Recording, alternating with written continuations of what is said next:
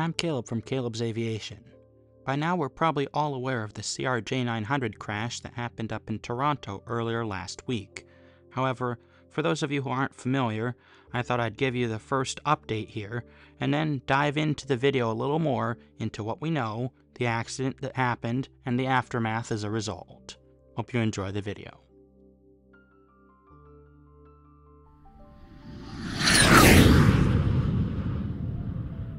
For those who are unaware, a Delta Airlines CRJ 900 operating a flight from Minneapolis to Toronto Pearson Airport in Canada took off for a routine flight.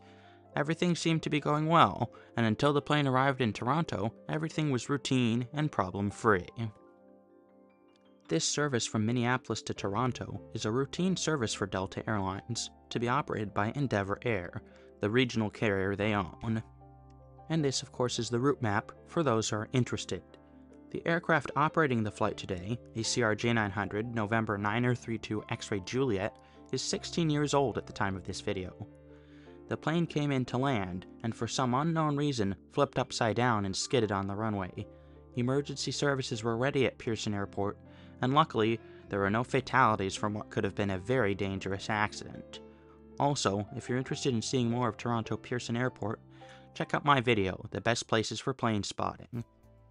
This crash is interesting for a couple of different reasons, especially since I've flown on board a Delta CRJ 900, as featured in this video of mine I made quite a few years ago.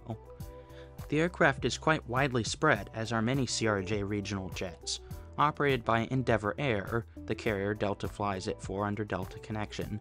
Endeavor Air is the largest operator of the CRJ 900, primarily for Delta, as much as many people, myself included, love to hate regional jets like the CRJ, there is no denying they will get you from place to place safely and efficiently, and most importantly, cost effectively, which is what Delta Airlines and the other carriers who rely on the jets depend upon.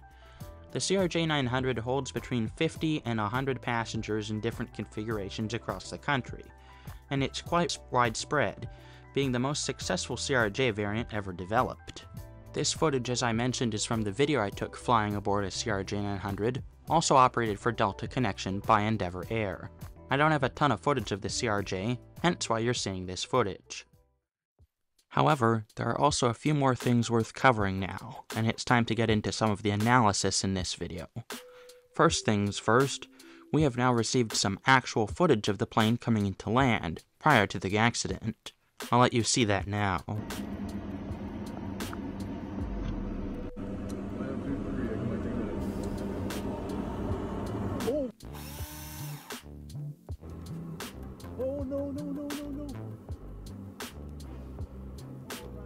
The footage shows the CRJ-900 coming into land on a pretty normal approach, but then there's something important. I don't see the flare, the moment where the plane pulls up to let the back wheels touch down first, prior to the nose. Also, it's likely that the conditions being snowy and icy did contribute to this accident.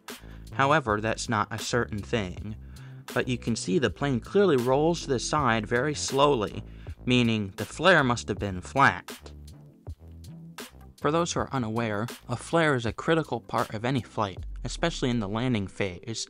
The flare is when the pilot pulls back on the stick to make the main landing gear on the belly of the aircraft touch the runway first. The flare is not only important for the pilot's aiming point of where to put the nose wheel once they're on the runway, but it's also an important phase of flight in slowing down the aircraft to a safe landing speed. It also allows the flaps to get maximum lift on the aircraft, so you don't stall or drop flat. In flying an aircraft, there are two critical phases of flight. There is V1, a rotation speed on takeoff, where you pull up the nose wheel and rotate the elevators to give you lift for takeoff, as seen here in this footage. And then there's the flare, on the landing roll, which we've already discussed. The flare is when the pilot pulls up on the nose wheel slightly to give maximum lift on the flaps, tilt the aircraft nose into the air slightly, and let the back wheels touch the ground as seen right here or in this footage. After that, the nose wheel hits the ground, the reversers turn on, and all the other things that help slow down the aircraft like the brakes, the spoilers, and the flaps and everything help slow down the aircraft on landing. Landing with a shallow flare, or no flare at all, can not only be a rough landing for the passengers, being usually quite hard on impact, but it can also make the aircraft more difficult to control, especially if they're crosswinds, as there were in the footage on this accident. In the end, this accident, although dangerous, had no serious issue as there were no fatalities, thankfully. Additionally, we can chalk this accident up to several poor factors, many of which were outside the pilot's control. Factors such as a strong crosswind, poor visibility, and a wet or icy runway can easily turn any routine flight into a nightmare scenario. I also feel for the most part that the pilots did their job, and did so quite well, considering there were no fatalities from what could have been a much worse accident. I also think the news and media, including some other YouTube channels, may have blown this accident out of proportion. I think it's also important to remember that pilots are highly skilled, highly trained professionals who do their jobs safely and efficiently every day worldwide, and this was just an unfortunate incident.